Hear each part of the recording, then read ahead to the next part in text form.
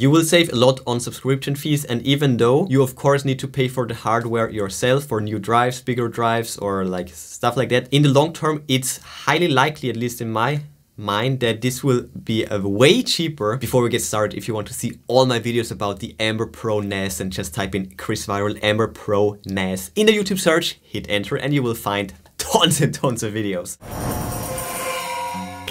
Initiating. Welcome back. My daily grind. Create yourself is what you'll find me doing every day and every night. No time to lose. One day, one step in the right direction. I'm Chris and I'm only here to show you if I can do it, you can do it too.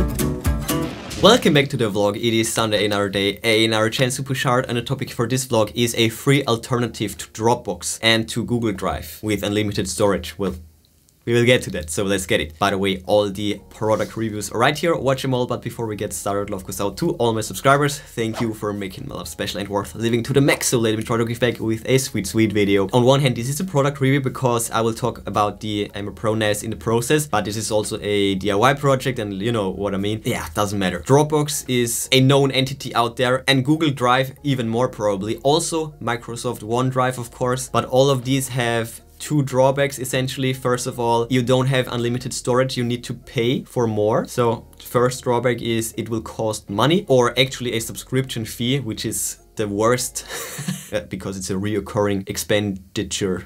Secondly, it's out there in the cloud and these can get hacked even though the security standards are fairly high Uh, things like that can happen and yeah that's a second downside. Now there are obvious downsides to self-hosting and nextcloud the free alternative to this is self-hosting essentially. So if someone breaks into your home or something like that and steals your complete device and you have no backup in another uh, location, then you will lose everything. It's basically worse than getting hacked. Also, if your house burns down or something crazy like that. So there are a few things that you need to keep in mind. Okay, first of all, the program is called Nextcloud. It's an open source project and you can easily install this in the form of a Docker container on the Amber Pro NAS. And the two pros diametrical to the other one to the other cons is first of all you have basically unlimited data because you can simply upgrade with new hard drives. Secondly, there is no reoccurring fee. Just think about it if that's something for you or not. But in the long term, you will save a lot on subscription fees and even though you of course need to pay for the hardware yourself for new drives, bigger drives or like stuff like that, in the long term it's highly likely, at least in my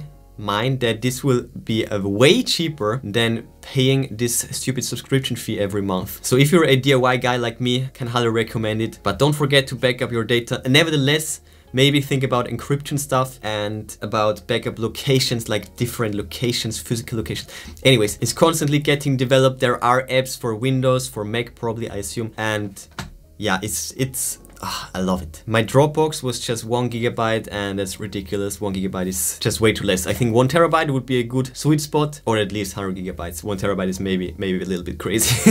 Anyways, in my next vlog, I will get to another Docker container installation. You can check it out right here, how to install Home Assistant. And yeah, that's it for this one. Guess I will see you there. Smash the like button. The way you can smash Dropbox, Google Assistant, OneDrive, all of these cloud services with your Amber Pro device. Bang the bell like crap to never miss product reviews and check the recent news on chrisviral.com. And that's it for today. I will see you tomorrow.